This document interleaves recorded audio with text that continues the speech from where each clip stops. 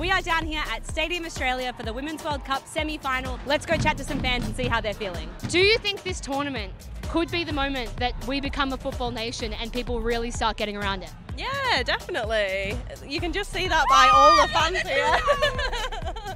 all the fans here tonight. It's such a good atmosphere. a Massive football country. We're just kind of getting around it now. What do you think we need to do to have the general public support football the way they do in England? Oh. Win tonight? Is this the first game you guys have been to this tournament? We actually came to the round of 16 match where they beat Denmark, so we mm. think they're going to do it again. Another 2 2 0 win. Are you living in Australia now or have you travelled to be here? I'm both Australian and English. I've lived in Australia for 12 years. I actually, really, if I'm completely honest, I really, really, really want Australia to win. And this is our moment. If we win tonight, do we get to claim that Australia is the home of football? No, sadly, but it'll help. It'll If it wasn't Australia, who's been your favourite team to support this tournament? Probably Colombia. The Colombian fans were fun.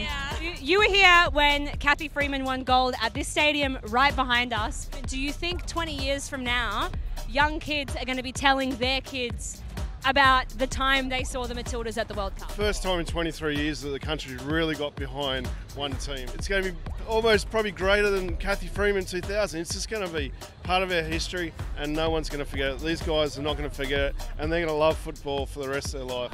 That's what we love to see. I've got shivers. I'm nearly crying. I got to ask two men supporting women's football. Is this, did this tournament do it for you? Is this the moment that you got behind the girls? 100%. I mean, this tournament for the girls, Australians women team, in the semi finals is honestly an unreal. It's been the biggest event in Australia so far.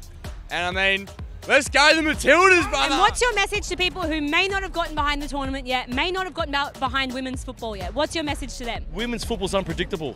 If you want to see something exciting and see women do amazing things, like yeah, I, you know, the, this tournament has been amazing, and they emulate whatever the men do, but better. We've seen some great fans out here already. We're about to head in and catch this game. Hopefully, the Matildas can get it done. Stay tuned for more content as we head into the finals. We'll see you then.